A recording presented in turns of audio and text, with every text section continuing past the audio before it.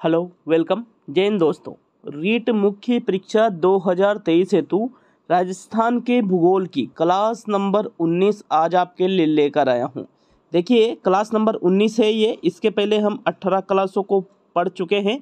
अब इन 18 क्लासों में हमने क्या क्या पढ़ा है, एक बार हम उस पर चर्चा करेंगे, क्योंकि थर्ड ग्रेड मुख्य एग्ज़ाम जो आपके जनवरी 2023 में है उसके लिए बिल्कुल निशुल्क संपूर्ण कोर्स की क्लासें यहाँ पर चलाई जा रही है, साथियों। तो देखिएगा, आज तो हमारा टॉपिक है राजस्थान की प्रमुख फ़सलें, जो लेवल एक के लिए भी है और लेवल दो के लिए भी है। लेकिन आज का है ये टॉपिक तो इसके पहले जो हमने 18 क्लासें पढ़ी है, साथियों, उसमें क्या क्या चीज़ें हम पढ़ चुके हैं, एक बार उसको देख लेते हैं। तो देखिएगा, सबसे पहले हमने जो टॉपिक पढ़ा था राजस्थान के भूगोल का वो था राजस्थान एक परिचय। इसको हमने पूरा कर लिया है। अगर नहीं देखा है, ठीक है, ये सारी चीज़ें नहीं देखी है तो प्लेलिस्ट मैंने बना रखी है साथियों।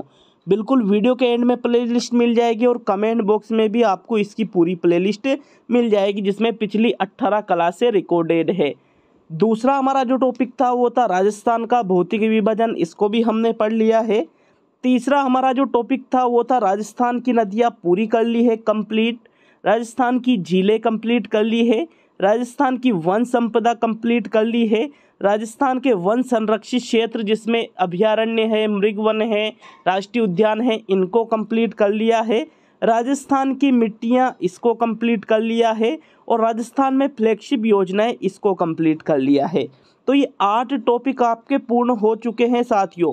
अभी क्लास चलाए हुए बीस दिन हुए हैं, बीस दिन में आठ टॉपिक कंप्लीट करा दिए मैंने आपको। आज का जो हमारा टॉपिक है, वो है राजस्थान की प्रमुख फ़सलें। तो आज का ये हमारा टॉपिक रहेगा साथियों, देखिएगा, यहाँ से भी आपके एक प्रश्न निश्चित रूप से बनने वाला है तो वीडियो को पूरा देख करके जाइएगा साथियों। पूरा कोर्स यहाँ पर करवाया जा रहा है और विशेष बात यह है, बिल्कुल जो आप कोचिंग लेके नोट्स बनाओगे, उससे भी बेहतरीन तरीके से नोट्स के माध्यम से यहाँ पर आपको पढ़ाया जाएगा। बिल्कुल ऑथेंटिक किताबों के माध्यम से इन फैक्टों को मैं आपके सामने लाता हूँ। तो चलिए शुरू करते हैं आज के इस वीडियो को। देखिएगा, आपके जो सिलेबस जारी हुआ था, साथियों उस सिलेबस में बिल्कुल साफ़ साफ़ टॉपिक दे रखा है, राजस्थान की प्रमुख फ़सलें। तो हम यहाँ पर बिल्कुल विवरण से पढ़ने वाले हैं साथियों। मैं आपको बता दूँ कि आप कोई सी भी एक किताब में से पढ़ते हो तो आपके पास आधी अधूरी चीज़ें होती है, लेकिन यहाँ पर आपको चार से पाँच जो ऑथेंटिक किताबें उनका पूरा सार यहाँ पर दिया जा रहा है। तो फ़सलों के बारे में अब आप नॉर्मल सब जानते हो कि भाई फ़सलें क्या होती है, ये तो बताने की आपको ज़रूरत नहीं है। जब किसी कृषि भूमि पर एक ही प्रकार के पौधे बोए जाते हैं तो उसी को हम क्या कहते हैं साथियों? फ़सल कहा कहते हैं या उसी को फ़सल कहा जाता है। मुख्य रूप से बात करें राजस्थान में प्रमुख फ़सलों के प्रकारों की तो तीन भागों में फ़सलों को बांटा गया है। कितने भागों में? तीन भागों में बांटा गया है। जैसे आपके मौसम होते हैं ना कि सर्दी का मौसम होता है, बरसात का मौसम होता है, जो अभी आपके चल रहा है, और एक आपके गर्मी का मौसम होता है। तीनों ही मौसम में अलग अलग प्रकार की फ़सलें होती है। तो सभी ने पढ़ रखी होगी ये चीज़ें तो कि भाई राजस्थान में जो प्रमुख फ़सलें हैं, इनको तीन भागों में, कौन से भागों में बांटा गया है? खरीफ की फ़सलें, रबी की फ़सलें और जायद की फ़सलें। ये ज़्यादा इम्पोर्टेंट चीज़ें नहीं है, क्योंकि ये तो अपन कक्षा छठी, सातवीं में से ही पढ़ते आ रहे हैं इन चीज़ों को। जब हम कक्षा तीसरी, चौथी, पाँचवीं, छठी, उस, वहीं से हमने इन चीज़ों के बारे में पढ़ लिया था साथियों।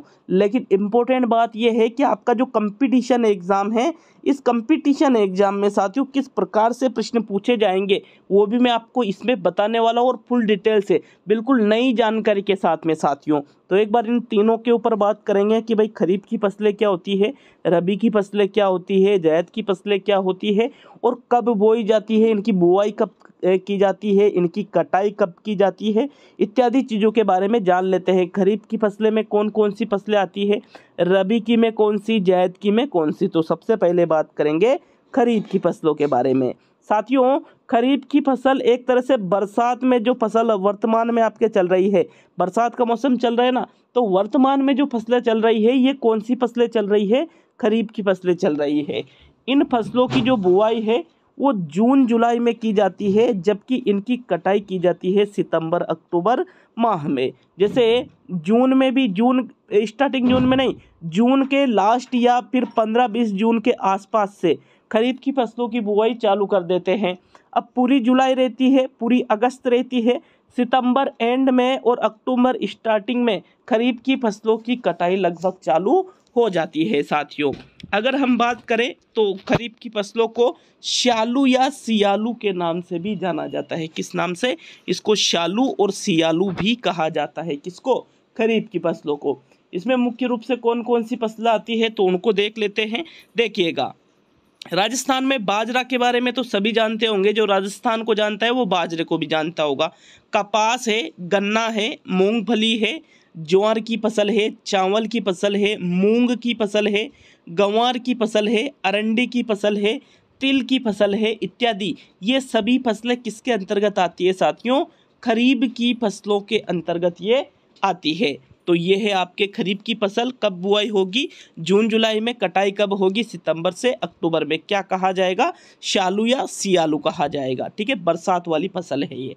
दूसरे नंबर पे हम बात करें तो दूसरे नंबर पे आता है आपके रबी की फ़सलें। तो देखिएगा, रबी की फ़सलें। भाई, खरीफ की बरसात की होगी तो रबी की कौन सी होगी साथियों? सर्दियों में जो फ़सलें होती है ना, उनको कहा जाता है रबी की फ़सलें। तो देखो, इनकी बुआई अक्टूबर, नवंबर में की जाती है। देखो, सितंबर, अक्टूबर में हमने पढ़ा था कि खरीफ की फ़सलों की कटाई की जाती है, सितंबर, अक्टूबर में। तो जैसे ही उन फ़सलों को काटा जाता है, खेतों को वापस तैयार करके, फ़सलों के लिए तैयार करके और रबी की फ़सलों को बो देते हैं साथियों। तो अक्टूबर, नवंबर में इनकी बुआई करते हैं रबी की फ़सलों की, जबकि इन फ़सलों की कटाई की जाती है मार्च, अप्रैल में। कब की जाती है? मार्च, अप्रैल में मतलब नवंबर पूरा, दिसंबर पूरा जनवरी पूरी और फरवरी पूरी। चार महीने पूरी ये फ़सलें होती है और मार्च स्टार्टिंग से ही इनकी कटाई शुरू हो जाती है।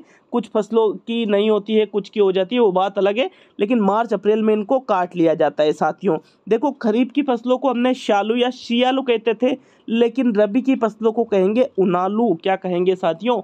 उनालू कहेंगे। इसमें कौन कौन सी फ़सलें आती है रबी की फ़सलों में? धनिया, वो जो मसाला, धनिया मसाला देखा होगा आपने, सब्ज़ी में जो डालते हैं। ठीक है, हरे हरे पत्ते अलग होते हैं, मसाला अलग होता है। तो धनिया की फ़सल, रबी की फ़सल है। सरसों तेल वाली वही, जिससे सरसों से तेल निकाला जाता है साथियों, खाने के लिए भी उपयोग करते हैं और अन्य भी उपयोग में लिए जाते हैं। गेहूँ गेहूँ को सभी जानते हो, चना चना की दाल बनती है, मटर मटर की दाल बनती है, मसूर, सौंप, सूरजमुखी इसबगोल जालोर में होती है ये। मेथी, जीरा तारा मेरा एक एक फ़सल के ऊपर बात करेंगे साथियों। जो हम रबी खरीफ की फ़सलें पढ़ रहे हैं, इनमें एक एक फ़सल के ऊपर फुल डिटेल से बात करने वाले हैं। तो साथियों, ये सभी रबी, खरीफ या जैद तीनों फ़सलें हैं, पूरी डिटेल से आप पढ़ोगे साथियों। तो ये है आपके कौन सी रबी की प्रमुख फ़सलें राजस्थान में। अब हम तीसरे नंबर पे बात करेंगे जायद की फ़सलों के बारे में। देखो खरीफ की बरसात वाली हो गई, रबी की आपके सर्दियों वाली होगी, और जो खर यहाँ पर जायद की फ़सलें हैं, ये आपके गर्मियों में बोई जाती है साथियों। कौन सी? गर्मियों में बोई जाती है जायद की फ़सलें। इनकी बुआई मार्च, अप्रैल में की जाती है। मतलब जैसे ही रबी की फ़सल की कटाई की जाती है, उसके बाद कौन सी फ़सल बो दी जाती है? जायद की फ़सलें बो दी जाती है। इनकी कटाई मई, जून में की जाती है क्योंकि मई, जून में मतलब जून, जुल, मई, जून में इनकी कटाई कर लेंगे, वापस खेतों को तैयार करेंगे और जून, जुलाई में वापस हम कौन सी फ़सल बो दे देंगे? खरीफ की फ़सल बो देंगे साथियों, जो बरसाती फ़सल होती है। इसमें प्रमुख रूप से कौन कौन सी खरबूजे हैं? खाने के लिए यूज़ करते हैं, तरबूज है, खाने के लिए यूज़ करते हैं, ककड़ी है, खाने के लिए यूज़ करते हैं। तो साथियों सीधी सी बात है, जैद की जो फ़सलें होती है ये खाद्यान्न फ़सलें होती है खाने के लिए फल के रूप में इनका हम यूज़ करते हैं जायद की फ़सलें, ठीक है? अब हम बात करेंगे एक एक फ़सल के बारे में, राजस्थान की प्रमुख फ़सलों का विवरण डिटेल से। यहाँ से जो हमने पढ़ लिया ना, यहाँ से प्रश्न आ गया तो सभी के प्रश्न सही हो जाएगा। लेकिन अब जो चीज़ें हम पढ़ने वाले हैं, अगर वहाँ से प्रश्न बना तो एक एक फैक्ट को याद करना पड़ेगा, क्योंकि साथियों, ऊपर जो हमने चीज़ें पढ़ी है ना, वो तो नॉर्मल वाली चीज़ें थी क्वालिटी वाली चीज़ें तो अब आपके पास आने वाली है। बिल्कुल बेहतरीन फैक्ट के साथ में। तो राजस्थान की प्रमुख फ़सलों का विवरण सहित अध्ययन करेंगे। देखिएगा, सबसे पहले हम पढ़ेंगे बाजरा के बारे में। किसके बारे में? बाजरा के बारे में। बाजरा को सभी ने देख भी रखा होगा। साथियों, बाजरे को गरीब मनुष्य का भोजन कहा जाता है। मतलब जो, देखो नाम भी क्या है इसका? गरीब मनुष्य का भोजन किसको कहा जाता है? बाजरे को कहा जाता है। सर्वाधिक कैलोरिक वैल्यू रखता है कौन सा बाजरा, साथियों। कैलोरिक मतलब जब हम बाजरे की जो फ़सल है, उससे बाजरा उत्पादन करके उसके आटे से जो रोटी बनाते हैं बाजरे की तो साथियों, सर्वाधिक कैलोरी कैलोरिक वैल्यू उससे हमें मिलती है। गरीब मनुष्य का भोजन वेरी इंपॉर्टेंट फैक्ट है ये, किसको कहा जाता है? बाजरे को कहा जाता है। क्योंकि बाजरा, इसकी एक तो कीमत भी ज़्यादा नहीं होती है और आसानी से ये उपलब्ध हो जाता है साथियों। तो इसके लिए ज़्यादा धन की आवश्यकता नहीं पड़ती है। इसी वजह से क्या कहेंगे, इसको गरीब मनुष्य का भोजन कहा जाएगा। आगे बात करें तो अनाज तो देखो, आगे बात करें तो अनाजों में सर्वाधिक ताकतवर अनाज किसको माना जाता है? बाजरे को ही माना जाता है, अनाजों में, ठीक है?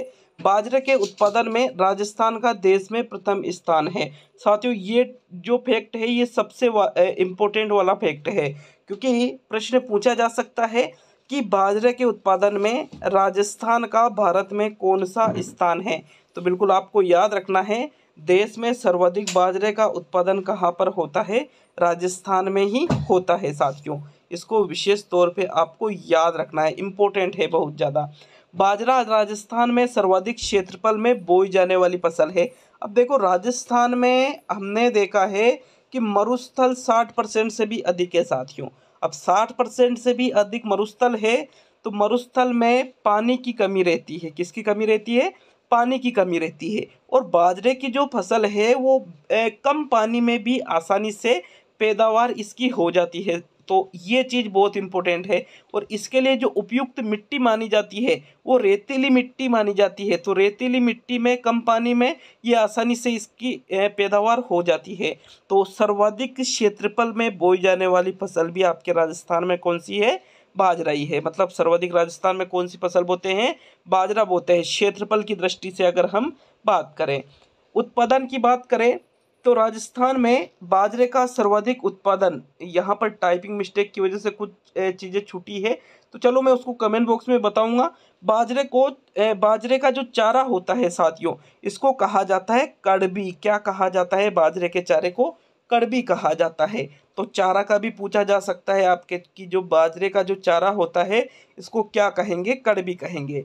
बाजरे का वानस्पतिक नाम है पेनिसेटम टाइफोइडी। को क्या नाम है साथियों? पेनिसेटम टाइफोइडी बाजरे का क्या है? वानस्पतिक नाम है। रेतीली या बलुई मिट्टी सबसे उपयुक्त मानी जाती है। ये चीज़ मैंने आपको बताई दी थी कि भाई रेगिस्तान में सर्वाधिक बाजरे का उत्पादन होता है और वहाँ पर मिट्टी कौन सी है? रेतीली या बलुई मिट्टी है साथियों। बाजरा साइलेज बनाने के लिए सर्वोत्तम माना जाता है। किसके लिए? साइलेज के लिए सर्वोत्तम बाजरे को ही माना जाता है। बाजरे का जन्म स्थान अफ्रीका को माना जाता है। मतलब मूल रूप से बाजरा भारत या राजस्थान का पौधा नहीं है, बल्कि ये कहाँ का है? अफ्रीका का पौधा है मूल रूप से। इसीलिए जन्म स्थान किसको माना जाता है? अफ्रीका को। विश्व में सर्वाधिक बाजरा भारत में ही होता है और भारत में भी सर्वाधिक बाजरा कहाँ पर होता है? आपके राजस्थान में होता है। तो ये है आपके बाजरे की फ़सल के बारे में विवरण। मैंने कहा था ना कि भाई आपको जो चीज़ें इंपॉर्टेंट है ना, वो तो अब आने वाली है, क्योंकि डिटेल वाली चीज़ें ही ज़्यादा इंपॉर्टेंट होती है साथियों। यहाँ पर प्रश्न इन्हीं में से पूछा जाएगा कि किसको गरीब मनुष्य का भोजन कहा जाता है?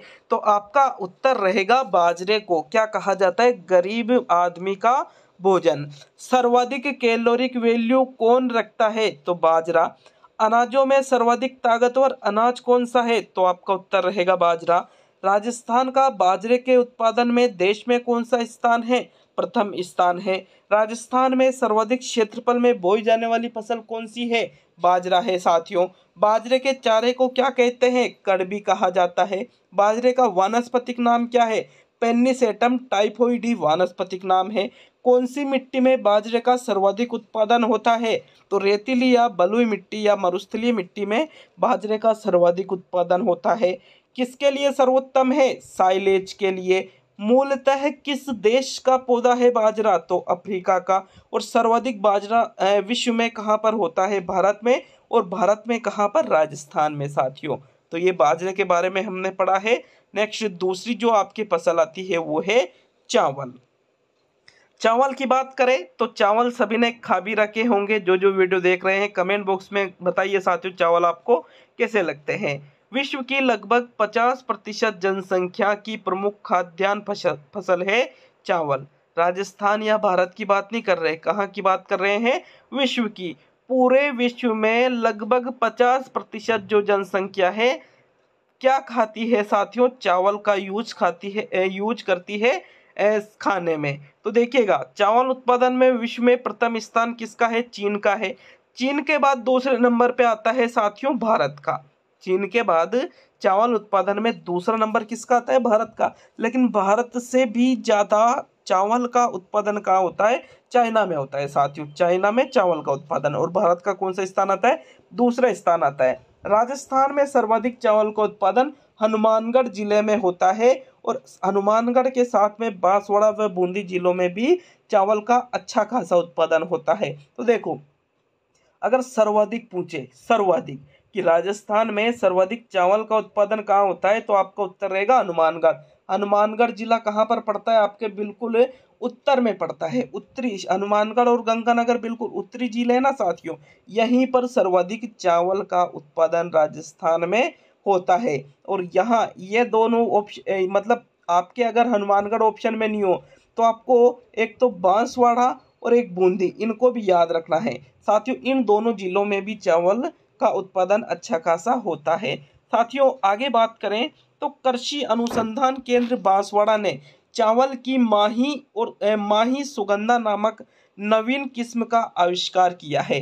तो मतलब माही सुगंधा एक नाम है अलग अलग नाम नहीं है ये। माही सुगंधा किसकी किस्म है? चावल की किस्म है। और ये किसके द्वारा इसका आविष्कार किया गया है? कृषि अनुसंधान केंद्र है बांसवाड़ा में। इसने ही चावल की एक नवीन किस्म का आविष्कार किया है जिसका नाम है माही सुगंधा किस्म। साथियों किसकी किस्म है ये? चावल की। चावल सबसे अधिक पानी सबसे अधिक पानी चाहने वाली फ़सल है। लगभग इसमें पिचहत्तर दिनों तक पानी भरा रहता है। तो सीधी सी बात है, चावल का उत्पादन भी वहीं पर होगा, जहाँ पर साथियों पानी की बिल्कुल भी कमी न आए। जहाँ पर पानी की बिल्कुल कमी नहीं आती है, चावल वहीं पर हो सकता है। जैसे बांसवाड़ा में भी बहुत अधिक मात्रा में चावल होता है, ठीक है? बूंदी में भी पानी की कमी नहीं आती है। हनुमानगढ़ इधर गंग नहर निकल रही है, साथियों। इसी वजह से हनुमानगढ़ में चावल का सर्वाधिक उत्पादन होता है और लगभग कितने दिनों तक इसमें पानी भरा रखना पड़ता है? लगभग पिचहत्तर दिन, साथियों। सबसे ज़्यादा पानी की ज़रूरत इसी फ़सल को पड़ती है। किस फ़सल को? चावल को। साथियों, आगे बात करें तो इंडिका चावल विश्व में अधिकांश क्षेत्रों में बोया जाने वाला चावल है। मतलब इंडिका किसका प्रकार है, साथियों? चावल का ही प्रकार है। सर्वाधिक विश्व की बात कर रहे हैं यहाँ पर। विश्व में सबसे ज़्यादा बोया जाने वाला जो चावल है, वो है आपके इंडिका चावल। साथियों, चावल को धान भी कहा जाता है। तो धान या चावल के खेतों में मिथेन, जिसको सी एच फोर कहा जाता है सी एच फोर साथियों, ये गैस अधिक मात्रा में निकलती है तो ये भी बहुत ही इंपॉर्टेंट फैक्ट है। क्वेश्चन पूछा जा सकता है। कि चावल के खेतों से कौन से गैस अधिक मात्रा में निकलती है? उत्तर रहेगा आपके मिथेन गैस या सी एच फोर ठीक है? आगे बात करें तो पाट या हनुमानगढ़, जिसको हम पाट या हनुमानगढ़ क्या सॉरी पाट जो हनुमानगढ़ में पड़ता है, जिसको हमने पहले भी पढ़ रखा है, गग्गर नदी द्वारा जो निर्मित मैदान है, इसी को क्या कहेंगे साथियों? पाट कहेंगे। और ये बासमती चावल के लिए प्रसिद्ध जगह है। कौन सी? पाट जो हनुमानगढ़ में स्थित है साथियों। पाट जो हनुमानगढ़ में स्थित है घग्गर नदी द्वारा निर्मित जो मैदान है उसी को कहा जाता है पाट। घग्गर नदी जो मैदान निर्मित करती है उसी को पाट कहेंगे।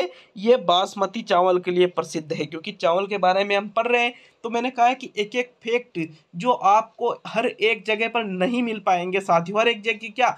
कहीं पर भी हर ए, मतलब एक जगह पर नहीं मिल पाएँगे। तो साथियों वो सारी चीज़ें आपको इस वीडियो के माध्यम से पूरी करवाई जा रही है। और इस वीडियो के माध्यम से ही नहीं, चाहे कोई सा भी टॉपिक हो, सभी टॉपिक्स में आपके हर एक फैक्ट को सम्मिलित किया जाता है। तो देखो, बासमती चावल के लिए प्रसिद्ध क्या है? पाट जो हनुमानगढ़ में मिलेगा आपको गग्गर नदी द्वारा जो निर्मित मैदान है, इसी को कहेंगे पाट। और यहाँ पर कौन सा चावल प्रसिद्ध है यहाँ का? बासमती चावल, साथियों। चावल की खेती जिस मिट्टी में की जाती है, उसका पीएच मान चार से छः होना चाहिए। प्रमुख किस्में हैं? बासमती चावल, गोल्डन चावल और माही सुगंधा चावल। ये तीनों ही किसकी किस्में हैं? चावल की प्रमुख किस्में हैं। पीएच मान भी पूछा जा सकता है कि चावल के उत्पादन के लिए या चावल की खेती करने के लिए, जिस मिट्टी में हम चावल की खेती कर रहे हैं, उसका पीएच मान कितना होना चाहिए? चार से छः होना चाहिए। और पूछा जा सकता है कि बासमती किसकी किस्म है? चावल की। गोल्डन किसकी किस्म है? चावल की। माही सुगंधा किसकी किस्म है? चावल की। तो ये है आपके दूसरी फ़सल जिसके बारे में हमने पढ़ा है साथियों। कौन सी है? चावल। चावल के बारे में क्या क्या इंपॉर्टेंट फैक्ट याद रखना है? सबसे इम्पोर्टेंट फैक्ट कि चावल का उत्पादन राजस्थान में सर्वाधिक कहाँ होता है? हनुमानगढ़ ज़िले में। इसके बाद बांसवाड़ा और बूंदी जिला आता है। चावल के उत्पादन में विश्व में प्रथम स्थान किसका है? चीन का। पचास प्रतिशत जनसंख्या खाद्यान्न के रूप में किसका प्रयोग करती है? चावल का प्रयोग करती है। साथियों, जो कृषि अनुसंधान केंद्र बांसवाड़ा है, इसने चावल की कौन सी किस्म विकसित की है? माही सुगंधा। माही नदी है ना, उधर ही। याद रख लेना, माही बांसवाड़ा। तो माही सुगंधा, इस प्रकार आप याद रख सकते हो। माही सुगंधा नामक किस्म कृषि अनुसंधान केंद्र बांसवाड़ा ने विकसित की है। कितने दिनों तक पानी भरा रहता है? इसमें लगभग पिछहत्तर दिन तक। बहुत ज़्यादा दिन हो जाते हैं साथियों ये। लगभग ढाई महीने आप इसको कह सकते हो, ठीक है? इंडिका चावल सबसे ज़्यादा विश्व में बोया जाता है। कौन सी गैस का स्त्राव होता है चावल के खेतों में से? साथियों, मिथेन या सी एच फोर गैस का। साथियों, बासमती चावल कहाँ का प्रसिद्ध है? तो घग्गर नदी द्वारा जो निर्मित मैदान है पाट, जो कहाँ पड़ता है? हनुमानगढ़ में। यहाँ के बासमती चावल प्रसिद्ध है। इसकी मिट्टी का पीएच मान कितना होता है? मतलब इसके लिए जो उपयुक्त मिट्टी मानी जाती है, उसका पीएच मान। तो चार से छः इसका पीएच मान होता है। और प्रमुख किस्में कौन सी है? बासमती, गोल्डन और माही सुगंधा। ये तीनों ही प्रमुख किस्में किसकी है साथियों? चावल की है। चलिए आगे बढ़ेंगे। और भी है, लेकिन प्रमुख यही है। तो आगे बात करेंगे गेहूँ के बारे में। साथियों, गेहूँ का प्रयोग हम खाद्यान्न के रूप में करते हैं। खाने के लिए, ठीक है? इसके जैसे गेहूँ के आटे से क्या बनती है? रोटी बनती है तो उसका प्रयोग हम किसमें करते हैं? खाद्यान्न में करते हैं। तो खाने के लिए, भारत में चावल के बाद दूसरा महत्वपूर्ण खाद्यान्न गेहूँ है। भारत की बात करें तो भारत में सबसे ज़्यादा किसको खाया जाता है? चावल को। लेकिन चावल के बाद में दूसरे नंबर पे क्या आता है साथियों? गेहूँ आता है। गेहूँ सेकंड नंबर पे आता है भारत में। राजस्थान के दक्षिणी पूर्वी मतलब आपका जो हाड़ोती वाला क्षेत्र है, ये देखिए, ये आपके दक्षिणी पूर्वी वाला जो भाग है, हाड़ोती वाला, वह पूर्वी भाग में गेहूँ का अधिक उत्पादन होता है। एक तो ये दक्षिणी पूर्वी और ये पूर्वी भाग। साथियों, यहीं पर गेहूँ का सर्वाधिक उत्पादन राजस्थान में होता है, ये देखिएगा। अभी हम क्लियर करते हैं। ये तो आपके दक्षिणी पूर्वी, जिसमें कोटा, बारा, बूंदी, झालावाड़, ये चार ज़िले आ जाते हैं। और इसके अलावा आपके ये जो पूर्वी वाला जो क्षेत्र है, धौलपुर है, भरतपुर है, करौली है सवाई माधोपुर है, साथियों, इन जिलों में चावल का सर्वाधिक उत्पादन राजस्थान में होता है। ये तो पर्टिकुलर क्षेत्र है, कोई विशेष ज़िले की बात नहीं की जा रही है। अगर विशेष ज़िले की बात करें कि राजस्थान में गेहूँ का सर्वाधिक उत्पादन कहाँ पर होता है? तो साथियों, आपके जो श्री गंगानगर और जो हनुमानगढ़ जिला है, कौन सा? श्री गंगानगर और जो हनुमानगढ़ जिला है, इन दोनों जिलों में ही सर्वाधिक गेहूँ का उत्पादन राजस्थान में होता है। अब हमने देखो, ये चीज़ देखी थी जब हमने चावल के बारे में पढ़ा था कि भाई हनुमानगढ़ ज़िले में राजस्थान में सर्वाधिक चावल का उत्पादन होता है। तो गंगानगर ज़िले में राजस्थान में सर्वाधिक गेहूँ का उत्पादन होता है साथियों। इसी वजह से श्री गंगानगर को अन्न का कटोरा भी कहा जाता है। किसको? श्री गंगानगर को ही अन्न का कटोरा कहते हैं साथियों। दोनों चीज़ें क्लियर है ना सभी के? कौन कौन सी? कि एक तो आपके जो हनुमानगढ़ जिला है, इसमें तो चावल सर्वाधिक उत्पादित होते हैं। और आपके जो श्री गंगानगर जिला है, इसमें आपके साथियों गेहूँ का सर्वाधिक उत्पादन होता है। श्री गंगानगर ज़िले को क्या कहा जाता है? अन्न का कटोरा कहा जाता है। क्या कहा जाता है? अन्न का कटोरा। गेहूँ की प्रमुख किस्में के बारे में हम देख लेते हैं कि कौन सी कौन कौन सी इसकी प्रमुख किस्में हैं। तो सोनालिका, कोहिनूर, सोना कल्याण और राजस्थान सैंतीस ये चार सबसे प्रमुख किस्में हैं। किसकी है साथियों? गेहूँ की। पूछा जा सकता है कि सोनालिका किसकी किस्म है? तो ये किस्में विशेष रूप से याद कर लेना भाई, नहीं तो क्वेश्चन गलत हो गया नंबर नहीं आया तो फिर बाद में रोना ही पड़ेगा। तो सोनालिका किस्म गेहूँ की है, कोहिनूर किस्म गेहूँ की है, सोना कल्याण किस्म गेहूँ की है और राजस्थान से तीस सौ पैंसठ किस्म किसकी है? गेहूँ की है। गेहूँ का भारत में उत्पादन की दृष्टि से राजस्थान का पांचवा स्थान है। तो भाई, गेहूँ की बात करें अगर अपन बाजरे में कौन सा स्थान था? बाजरे में राजस्थान का प्रथम स्थान था। गेहूँ में उत्पादन की दृष्टि से कौन सा स्थान है? तो पांचवा है। बाजरे में तो प्रथम है और गेहूँ में पांचवा स्थान है राजस्थान का, भारत में। साथियों, इसमें दो तीन शब्द आपको विशेष रूप से याद रखना है। इसमें पहला शब्द आता है इंडिया मिक्स। क्या नाम आता है? India mix. इंडिया मिक्स में क्या होता है? देखो गेहूँ, मक्का और सोयाबीन का जो आटा होता है, इनको मिश्रित कर लिया जाता है मतलब मिला लिया जाता है। और इस मिश्रित जो नया आटा होता है, इसी को इंडिया मिक्स के नाम से जाना जाता है, जिसमें गेहूँ का आटा होता है, मक्का का आटा होता है और सोयाबीन का आटा होता है। तो इसको किस नाम से जाना जाएगा? इंडिया मिक्स के नाम से जाना जाएगा। गेहूँ में बोनेपन के लिए नोरिन टेन जीन उत्तरदायी माना जाता है, साथियों। कौन सा जीन? नोरिन ten gene. देखो, बोनेपन मतलब छोटे छोटे गेहूँ रह जाते हैं, बहुत सारे। बहुत से खेतों में गेहूँ की फ़सल बोते हैं तो गेहूँ कैसे रह जाते हैं? छोटे छोटे तो साथियों, बोनापन उनमें रह जाता है, किसके कारण रहता है? नोरिन टेन के कारण रहता है। गेहूँ की फ़सल में करनाल बंट एक रोग होता है, जिसको कैंसर रोग भी कहते हैं, साथियों। ये रोग इसमें लगता है, ये विशेष रोग है गेहूँ की फ़सल का। पूछा जा सकता है कि कैंसर रोग कौन सी फ़सल में फैलता है? गेहूँ की फ़सल में। और या फिर कैंसर रोग की जगह, कैंसर रोग तो मुश्किल दे करनाल बंट देगा ये। करनाल बंट रोग कौन सी फ़सल में फैलता है? गेहूँ की फ़सल में फैलता है साथियों। तो ये है आपके गेहूँ की फ़सल क्या क्या याद रखना है? पहली चीज़ तो सबसे ज़्यादा गेहूँ कहाँ पर है? श्री गंगानगर में। श्री गंगानगर को अन्न का कटोरा भी कहते हैं, हनुमानगढ़ में भी है। क्षेत्र की बात करें तो दक्षिणी पूर्वी मतलब हाड़ोती वाला भाग और पूर्वी भाग। यहाँ सर्वाधिक मात्रा में गेहूँ का उत्पादन होता है। यहाँ सर्वाधिक मात्रा में गेहूँ की बुआई की जाती है साथियों। दूसरा महत्वपूर्ण खाद्यान्न दूसरी महत्वपूर्ण खाद्यान्न फ़सल भी कौन सी है आपके? गेहूँ ही है साथियों। प्रमुख किस्में कौन कौन सी? सोनालिका, कोहिनूर, सोना कल्याण और राजस्थान सैंतीस सौ पैंसठ। कौन सा स्थान है राजस्थान का? गेहूँ के उत्पादन में भारत में तो पांचवा है। इंडिया मिक्स किसे कहते हैं? गेहूँ, मक्का और सोयाबीन का जो आटा होता है, इसको मिक्स कर लिया जाता है। इसी को इंडिया मिक्स कहते हैं। बोनेपन के लिए क्या उत्तरदायी है? कौन सा जीन? तो नोरिन टेन जीन जो है ये गेहूँ में बोनेपन के लिए उत्तरदायी है और कैंसर रोग किस फ़सल में होता है? गेहूँ की फ़सल में, जिसको करनाल बंट के नाम से भी जाना जाता है। तो चलिए आगे बढ़ेंगे चौथी फ़सल के बारे में, देखते हैं। तो देखो, चौथे नंबर पे आपकी जो फ़सल आती है, वो है आपके मक्का की फ़सल, साथियों। मक्का की फ़सल का उपयोग हम दो तरीके से करते हैं। एक तो हम इसको बेचने के लिए इसका प्रयोग करते हैं और एक हम इसको खाने के लिए इसका प्रयोग करते हैं, ठीक है? तो खाद्यान्न फ़सल भी आप इसको कह सकते हो और देखो, इसका जो चारा भी बनता है तो पशुओं को चारा भी खिलाया जाता है। तो देखो, मक्का के बारे में बात करेंगे। मक्का सभी ने देख रखी होगी। इसके जो भुट्टे होते हैं, वो आपने खा भी रखे होंगे, साथियों। मक्का का राजस्थान में सर्वाधिक उत्पादन चित्तौड़गढ़ व उदयपुर में होता है। देखो, चित्तौड़गढ़ व उदयपुर, ये आपके दोनों ही ज़िले कहाँ पर है? आपके दक्षिणी राजस्थान में पड़ते हैं। कहाँ पड़ते हैं? दक्षिणी राजस्थान में पड़ते हैं। मतलब मक्का का नाम जैसे ही आपके माइंड में है जैसे बाजरे का नाम आता है, आपके मरुस्थलीय प्रदेश में बाजरे का उत्पादन होता है। गेहूँ का नाम आए तो ये आपके पूर्वी और दक्षिणी पूर्वी क्षेत्र में गेहूँ का उत्पादन होता है। लेकिन देखो, यहाँ तो होता है, लेकिन गेहूँ सर्वाधिक उत्पादित कहाँ होता है? साथियों, आपके श्रीगंगानगर में होता है। वो अलग चीज़ है, वो आपको याद रखना पड़ेगा। लेकिन माइंड में आना चाहिए, कौन सी फ़सल किधर रहेगी? फिर हम यहाँ पर बात करें तो यहाँ पर बात की जा रही है मक्का की। अब मक्का का उत्पादन होता है आपके दक्षिणी राजस्थान में, जिसमें प्रथम जिला है चित्तौड़गढ़। चित्तौड़गढ़ ज़िले में सर्वाधिक मक्का का उत्पादन होता है और इसके बाद आता है आपके उदयपुर जिला।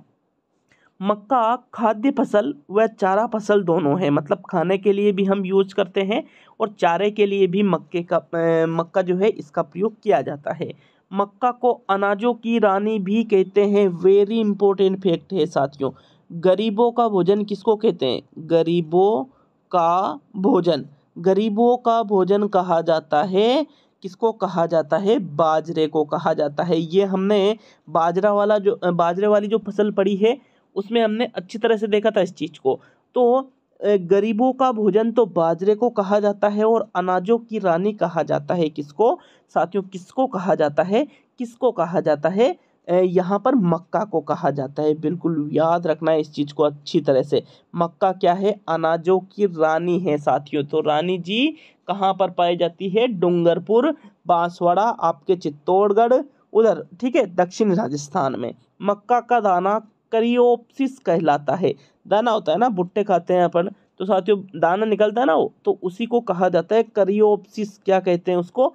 करियोप्सिस के नाम से जाना जाता है, ये भी बहुत ही इम्पोर्टेंट फैक्ट है। आगे बात करें, देखो मक्का की जो हरी पत्तियाँ होती है, इससे जो चारा बनाया जाता है, इस चारे को साइलेज के नाम से जाना जाता है। तो क्वेश्चन पूछा जा सकता है कि साइलेज क्या है? क्या है भाई साइलेज? कुछ पता ही नहीं चल रहा है। तो साइलेज है साथियों, मक्का की हरी पत्तियों से बनाया गया चारा ही साइलेज कहलाता है। हरी पत्तियों से। सूखी पत्तियों से नहीं, हरी पत्तियों से साथियों। बांसवाड़ा कृषि अनुसंधान केंद्र ने मक्का की दो प्रमुख किस्में विकसित की है। एक तो माही कंचन और एक माही धवल। मतलब ये दोनों ही किसकी किस्में हैं? मक्का की किस्में हैं साथियों। किसकी है? मक्का की किस्में है ये। माही कंचन, माही धवल। तो मतलब आपको ये दोनों ही विशेष रूप से याद रखना ही पड़ेगा। और ये किसने विकसित की है? बांसवाड़ा कृषि अनुसंधान केंद्र ने ये दोनों मक्का की किस्में विकसित की है। क्लियर है सभी के? तो मक्का के बारे में आपको यही याद रखना है। किधर होती है? दक्षिणी राजस्थान में। प्रथम जिला कौन सा? चित्तौड़गढ़। दूसरा जिला कौन सा? उत्पादन की दृष्टि से उदयपुर। खाद्य फ़सल भी है, चारा फ़सल भी इसको कहा जाता है। क्या कहा जाता है इसको? अनाजों की रानी किसको कहते हैं? मक्का को कहते हैं। इसके दाने को क्या कहते हैं? करियोप्सिस कहते हैं। साथियों, इसकी जो हरी पत्तियाँ होती है मक्का की, इसकी हरी पत्तियों से जो चारा बनाया जाता है, उसको क्या कहा जाता है? तो इसको साइलेज कहा जाता है। जो बांसवाड़ा कृषि अनुसंधान केंद्र है, इसने मक्का की कितने कितनी प्रमुख किस्में विकसित की है? दो किस्में विकसित की है। कौन कौन सी? माही कंचन और माही धवल। तो माही माही तो दोनों में लग रहा है कंचन, एक तो कंचन याद रख लेना और एक ध्वल याद रखना साथियों। ध्वल, ठीक है, ध्वज ध्वज से ध्वल याद रह सकता है। माही कंचन और माही धवल दोनों ही किसकी किस्में हैं? मक्का की किस्में हैं? तो ये आपके चौथी फ़सल थी। चलिए पांचवी फ़सल की ओर बढ़ते हैं। पांचवी फ़सल पे आपके आती है ज्वार। ज्वार का नाम भी सभी ने सुन रखा होगा। ज्वार की जो रोटियाँ हैं वो सभी ने नहीं खा रखी होगी। आपने चावल खा रखे होंगे आपने बाजरा खा रखा होगा मतलब बाजरा क्या बाजरे की रोटियाँ खा रखी होगी है ना? आपने गेहूँ की रोटियाँ खा रखी होगी आपने मक्का की रोटी जो होती है मक्के की इसकी रोटी आपने खा रखी होगी। लेकिन ज्वार की जो रोटियाँ होती है ये बहुत मुश्किल है कोई कोई ए, आप में से तो कोई कोई होगा जिस जिन्होंने ज्वार की रोटियाँ खाई होगी साथियों। ज्वार को गरीब की रोटी कहते हैं। क्या कहते हैं इसको? गरीब की रोटी। अब कहो भाई, किसने खा रखी है? गरीब की रोटी खा ली आपने तो फिर। अगर ज्वार खा ली तो आपने क्या खा ली? गरीब की रोटी खा ली, साथियों। ऊँट की फ़सल भी इसको कहा जाता है, क्योंकि ऊँट को बहुत प्रिय लगती है ज्वार साथियों। ऊँट की फ़सल भी ज्वार को कहते हैं, गरीब की रोटी भी ज्वार को कहते हैं। गरीब का भोजन किसको कहते हैं? गरीब का भोजन किसको कहते हैं? बता रखा है अच्छी तरह से बाजरे को। किसको कहा जाता है? बाजरे को कहा जाता है गरीब का भोजन। मक्का क्या कहलाती है साथियों? अनाजों की रानी किसको कहते हैं? मक्का को कहते हैं। गरीब की रोटी किसको कहते हैं? ज्वार को कहते हैं। तो गरीब का भोजन तो बाजरा और गरीब की रोटी आएगी आपके ज्वार।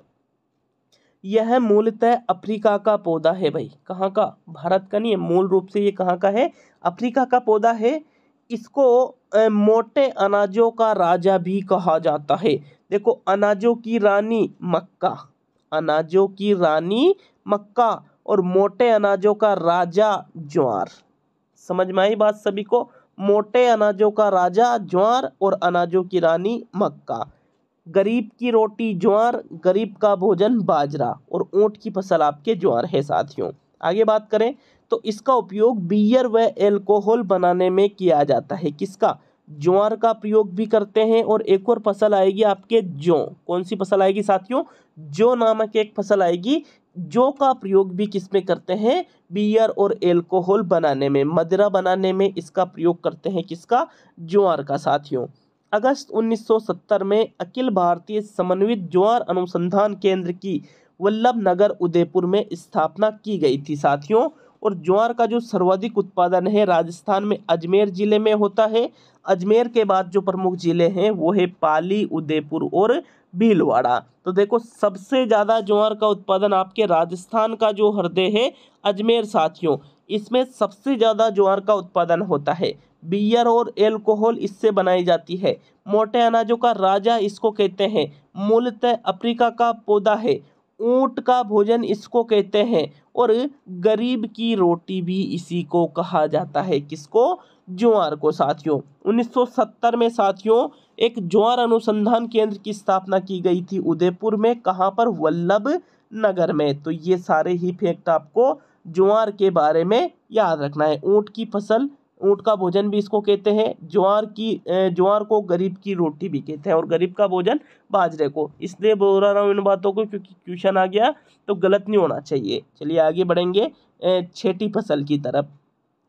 छेटी फ़सल है आपके जौ तो देखो, ज्वार के बाद मैंने अभी बताया था ना जौ की फ़सल भी आपके आने वाली है। तो जौ का सर्वाधिक उपयोग शराब व माल्टा बनाने में किया जाता है।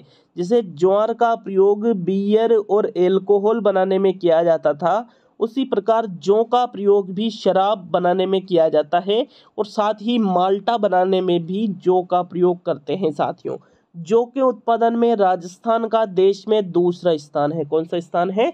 दूसरा, जबकि बाजरे के उत्पादन में कौन सा स्थान है? पहला, गेहूँ के उत्पादन में कौन सा स्थान है? पांचवा स्थान है। इसको गरीब का अनाज कहा जाता है। किसको? जो को। तो भाई देखो कितने कंफ्यूज हुए कि नहीं हुए। समझना बात को। गरीब का भोजन, गरीब का भोजन तो है आपके बाजरा।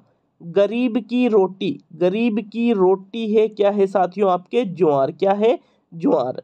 और गरीब का अनाज, गरीब का अनाज है आपके जौ गरीब का अनाज। तो तीनों चीज़ों में बिल्कुल भी कंफ्यूज नहीं होना है। तीनों को ऊपर लिख लेना, ऊपर नोट्स बना रहे हो ना, उसके ऊपर ऊपर लिख लेना, गरीब का भोजन, गरीब की रोटी, गरीब का अनाज। अनाज जो, रोटी आपके ज्वार और भोजन आपके बाजरा, साथियों। जो का राजस्थान में सर्वाधिक उत्पादन जयपुर व श्री गंगानगर में होता है। एक तो जयपुर में, जो आपके पिंक सिटी है, गुलाबी नगर, जयपुर, साथियों। यहाँ पर जयपुर से जो याद रख लेना है ना हालाँकि पाएगा और भी फ़सलें जैसे चालू होती है। तो जयपुर में जौ का उत्पादन सर्वाधिक होता है और श्री गंगानगर में भी जौ का उत्पादन होता है बहुत अधिक मात्रा में। जयपुर के बाद में कौन सा स्थान आता है? श्री गंगानगर जहाँ पर गेहूँ का सर्वाधिक उत्पादन होता है, जिसको अन्न का कटोरा भी कहते हैं। ऊपर हमने पढ़ी था ना ये चीज़ें? पढ़ी थी कि नहीं पढ़ी थी? तो सारी चीज़ें याद होना चाहिए। चलिए आगे बढ़ेंगे सातवें प्रकार की फ़सल की तरफ़। सातवें प्रकार की जो फ़सल है, वो है आपके मशरूम की फ़सल। तो देखो मशरूम, इसको खुम्बी छत्रक, कुकुरमुत्ता, शाकाहारी मीट भी कहा जाता है। तो देखो, मशरूम की खेती तो खैर उतनी ज़्यादा होती नहीं है, लेकिन होती है। तो साथियों खुम्बी भी इसको कहेंगे, छत्रक भी कहेंगे, कुकुरमुत्ता भी कहेंगे, या शाकाहारी मीट भी इसको कहा जाएगा। देखो जैसे इस प्रकार से मशरूम गोल गोल होता है, साथियों, कुकुरमुत्ता कहते हैं। छत्रक कहते हैं, छतरी के समान आकार का खुम्बी कहते हैं और शाकाहारी मीट भी इसको कहा जाता है।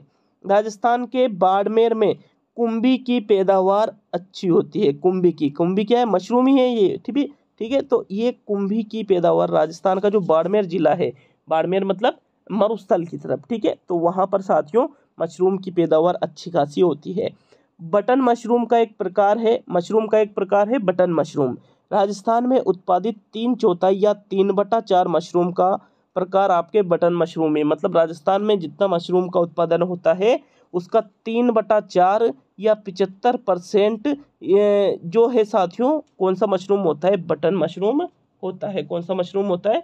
Button mushroom. तो ये मशरूम के बारे में भी आपको अच्छी तरह से याद रखना है, ठीक है? चलिए आगे बढ़ेंगे आपकी आठवीं फ़सल की तरफ़। मशरूम में ये याद रखना है तो एक तो इसके उपनाम याद रख लेना और किधर होती है? बाड़मेर की तरफ़ होती है साथियों। और कौन सी सर्वाधिक प्रचलित मशरूम का प्रकार है? तो आपके जो बटन मशरूम है, ये सर्वाधिक प्रचलित मशरूम का प्रकार है, ठीक है? चलिए आगे बढ़ेंगे आपके आठवीं फ़सल की तरफ़।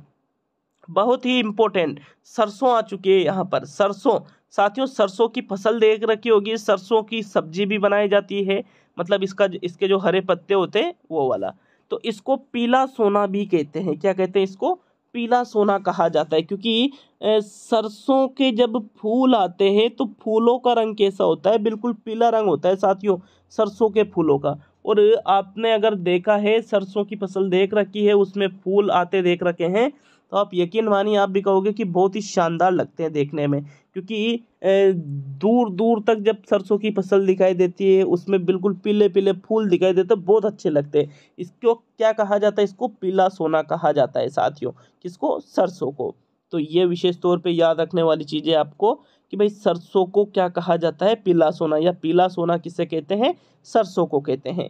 हल्की चिकनी या दोमट मिट्टी में उपयुक्त मानी जाती है ये फ़सल। सरसों से तेल निकाला जाता है। ये तो आप सभी को पता होगा कि सरसों से तेल निकाला जाता है, जिसका प्रयोग खाद्यान्न में करते हैं साथियों। अब सरसों से तेल निकालने के बाद में जो बचने वाली जो लुगदी होती है साथियों, उसको खड़ कहते हैं, जिसका प्रयोग किसमें करते हैं? जानवरों को खिलाने में करते हैं, जिससे वो दूध की मात्रा उनमें बढ़ती जाती है। जिससे कोई जो भैंस वगैरह है, गाय वगैरह है तो साथियों इनको ये खड़ खिलाई जाती है और ये खड़ किसकी बनी होती है साथियों? सरसों को पीस करके मतलब उसको जब उससे तेल निकाल लिया जाता है तो लुगदी टाइप में बन जाती है और उसी को कहा जाता है साथियों, खड़ और उसका प्रयोग जानवरों को खिलाने में किया जाता है ताकि जानवरों में जो दुग्ध देने की जो क्षमता है वो और अधिक बढ़े। आगे बात करें, हरित क्रांति का सर्वाधिक प्रभाव तिलहनों में सरसों पर ही पड़ा था, साथियों। हरित क्रांति के बारे में भी हम पढ़ेंगे क्योंकि फ़सलें हैं तो फ़सलों का, फ़सलों में हरित क्रांति का प्रभाव पड़ा, लेकिन वैसे तो गेहूँ पर पड़ा सर्वाधिक, लेकिन तिलहनों में बात करें, भाई, तिलहन मतलब क्या? मैं अभी ये नकदी फ़सलें क्या होती है, खाद्यान्न फ़सलें क्या होती है, तिलहन फ़सलें क्या होती है, एक बार प्रमुख प्रमुख फ़सलें बता रहा हूँ, रबी, खरीफ जायद की तो हमने पढ़ ली। अब यहाँ पर हम ये भी पढ़ेंगे कि तिलहनी फ़सलें कौन सी है आपके नकदी फ़सलें कौन सी है, खाद्यान्न फ़सलें कौन सी है, और भी अन्य सारी प्रकार की, ठीक है? तो चलिए आगे बढ़ते हैं। केंद्रीय सरसों अनुसंधान केंद्र जो साथियों भरतपुर में स्थित है और जगह का नाम है सेवर। इस प्रश्न को पाँच सात बार पूछ लिया गया है अलग अलग एग्ज़ाम में कि केंद्रीय सरसों अनुसंधान केंद्र कहाँ पर है। अब देखो, पहला ऑप्शन तो आपके भरतपुर रहता है और चौथा ऑप्शन आपके सेवर रहता है। तो भरतपुर में तो स्थित है, लेकिन भरतपुर में कहाँ पर सेवर में? तो सेवर अगर विकल्प में है। सेवर अगर आ जाए विकल्प में तो सेवर को सही करोगे कि केंद्रीय सरसों अनुसंधान केंद्र कहाँ है? तो आंसर रहेगा सेवर। सेवर विकल्प में नहीं है तो फिर आप सही करोगे भरतपुर को। लेकिन फ़र्स्ट चॉइस क्या रहेगी आपकी? सेवर रहेगी साथियों। केंद्रीय सरसों अनुसंधान केंद्र सेवर में स्थित है और सेवर कहाँ पड़ता है? भरतपुर में पड़ता है। साथियों इसका जो ए, इसकी जो स्थापना की गई थी केंद्रीय सरसों अनुसंधान केंद्र की ये आठवीं पंचवर्षीय योजना में स्थापित किया गया था। राजस्थान देश का सर्वाधिक सरसों उत्पादक क्षेत्र है। मतलब सबसे ज़्यादा राजस्थान में ही सरसों का उत्पादन होता है।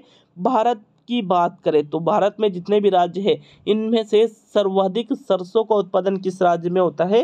राजस्थान में ही होता है साथियों। इससे खाद्यान्न तेल बनाया जाता है, निकाला जाता है और उससे जो लुगदी बनती है बाद में, उसको उसको क्या कहते हैं? उसको खल कहते हैं। ऊपर हमने देखा था ना, खल कहा जाता है उसको। सरसों राजस्थान की सबसे प्रमुख तिलहनी फ़सल है। सुमेरपुर पाली में राजस्थान की सबसे बड़ी सरसों मंडी भी स्थित है, साथियों।